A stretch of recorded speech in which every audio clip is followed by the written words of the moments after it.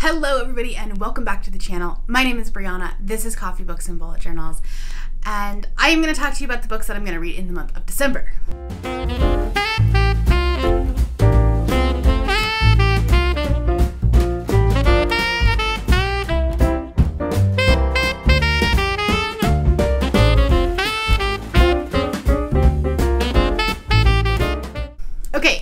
As you can probably tell by the title of the video, I am not going to do categories this month uh, for a couple of reasons.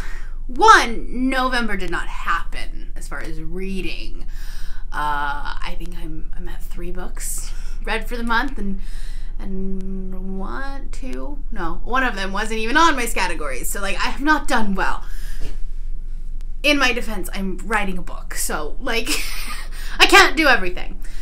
So I was finding that I was like trying to like push through these books and I didn't really want to.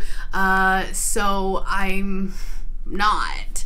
That's just kind of what's gonna happen. I'm just not going to push through them and I'm just gonna kind of start with a clean, fresh slate in January. The second reason is I have a lot of books that I want to read in December, whether they be holiday books or well, I don't think I actually. Well, I have like wintry books, and then I also have like a secret TBR that I want to do, and I, I'm afraid that if I do categories, none of the books will work, and then I would end up reading way too many books.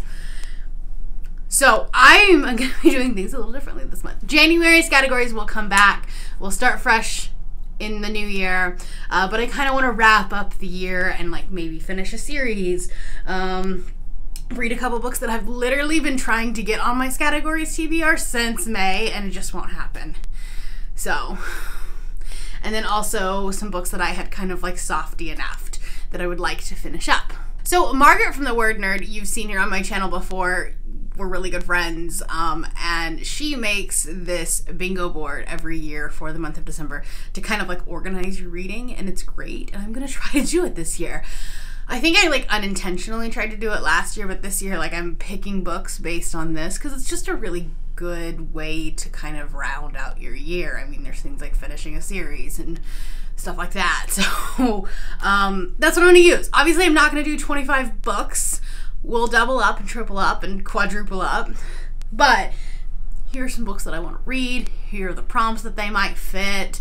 Uh, and I will link the tweet that has this picture or this image in the description below so that you can uh, check it out. I'll also link Margaret's channel below. If you haven't checked her out already, you really should.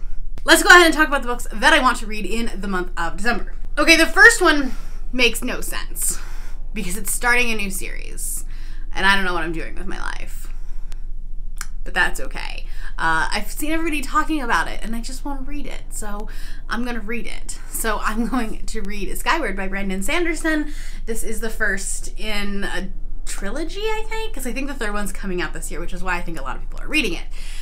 Uh, or next, early next year, I don't know. Anyway, this is um, Brandon Sanderson's young adult sci-fi, uh, and it's it's kind of like the step in like the toe in the water because I don't know that I could do Mistborn or of Kings. I don't know. I don't think I'm there yet. So I figured I would start with his YA stuff. So this is about Spensa, I think. Yeah. Um, Spensa. And her father was like deemed a traitor, and now she's a pilot at this like school basically to save the world. I feel like it's gonna be very Star Wars esque, and I'm here for it. As far as prompts are concerned, let's see what we've got here. Um, it's not a snowy book. It is a new to you author because I've never read from Sanderson before. Uh, I mean, it takes place in space, so maybe another country. It's another planet. Does that work? The backlist book. Um, I mean, a stranger didn't recommend it, but a lot of people have recommended it. um, it was. See, it's purple book. There we go. Um, so yeah, that's pretty much it. Okay, the next one is a nonfiction book that I have heard a lot of people talking about, and so I did purchase it. I wanted to read it during nonfiction November, but it didn't happen because I'm not reading anything. So, anyways, that is Disfigured on fairy tales, disability, and making space. And this talks a lot about um, how the people with disability rep or the disability rep in Disney and in fairy tales and things like that are usually the villains or like the joke of a character. And we don't ever see like a disabled main character protagonist. So um, this is going to be a really good essay. And really excited to pick it up. Um, Jesse from Bow Ties and Books talked about it and really loved it. Um, Kayla from Books and Lala really love it, loved it, and uh, yeah. So this fulfills prompt. I guess it's really not a book because it's like a, essays. I don't know. Is it a book? It's nonfiction. It's not a novel. It's a new to you author. I've never read from this author before. I think it might be a 2020 book. Let's see. I mean, everyone was talking about it. Yep, 2020. Uh, the author is from Canada, so it is technically another country. It's 300 pages or less because it is, I think I checked, it was 235. So it's a short book. And it has purple on the cover. Does it have a drink on the cover? No, there's no cup or anything like that. Because that's the one that I don't think I have. But yeah, I'm very excited to pick this one up. Here is a book that has been on a couple of TBRs, I think, and I just never got around to it. Uh, so that is No Exit by Taylor Adams. This is a thriller, and it's a kind of snowed in type thriller, which I feel like will be perfect for December. It's winter. Um, also, I did not realize, but this place takes place in Utah or near Utah. Um, she's going back from Colorado to Utah or something like that. And so it takes place on that journey. But this is about a woman who gets snowed in, has to stop at a truck stop, and then when she like goes out to her car for something, she notices that in another car there is a child in a cage. And so then she has to like figure out who the person is that's like stealing a child. Seems very terrifying. I've heard a lot of good things about it. And I'm here for those like, you know, creepy snowed in thrillers right now. There is a prompt on here for Snowy Book. This is a backlist book. Um, it, it's not really a oopsie enough because I never actually started it, but it has been on several TBRs. So I do would I, I do want to finish this this year. Okay, uh, another book that I want to read is Darling Rose Gold by Stephanie Wrobel. If you watched my TBR last month, I did talk, or I did have this on my TBR, and I talked about this in my last vlog, but I just haven't gotten to it. I can't find a um, audiobook for it, and that's pretty much all that I had been doing this month, just because of my new job and uh, this other, you know, NaNoWriMo, all this other stuff. So haven't really gotten around to this, but I do want to read it before the end of the year. It does meet a Pop Sugar challenge. I have very few of them left, and I would like to read them if I could. So that's this.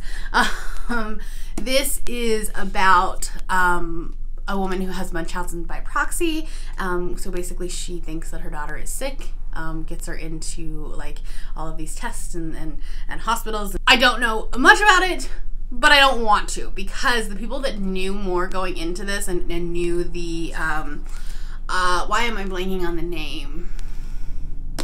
I don't know. There was a show or a movie about it, um, and the people that watched that movie said that this was really similar.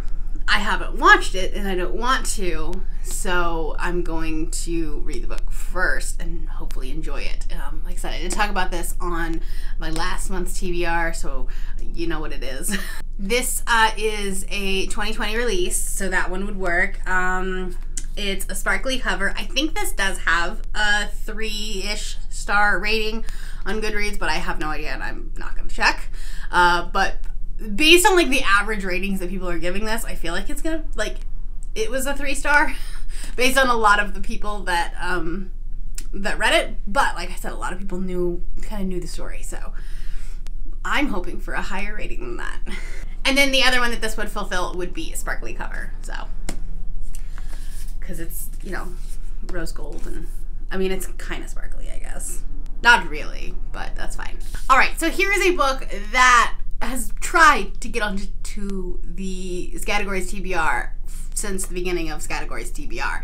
The problem is it's a one word title, so it's hard to like fit it in. Like you'd have to be very specific on the prompt and the letter, and so it just never made it onto it. But it's a book that I really want to read, and it has been calling to me for months.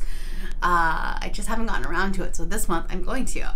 And that is Recursion by Blake Crouch. This is a sci fi thriller. Uh, I read Dark Matter last year and it made my top 10 of the year. So I'm kind of hoping that this one might do the same. Uh, Blake Crouch is amazing with his like sci-fi and thriller aspects and, and the science and the technicality parts of it. Um, it's almost like borders on a medical sci-fi thriller. Actually, I think that's pretty much exactly what it is. But this one um, is based on um, memories and someone who has Alzheimer's, um, but it's called like false memory syndrome or something like that. So basically, like you're remembering things that are not correct. And I'm sure that there is a lot of other stuff going on, but I've been told not to read the synopsis. So I'm not going to read the synopsis. I'm going to go into this really blind and hopefully be in for a wild ride. So stay tuned for that. For prompts, um, they're trying to think of which ones that would be. It would, I don't, I mean, it's not a backlist book because he hasn't written another book since, but it was a 2019 release. And then it was on my TBR before 2020.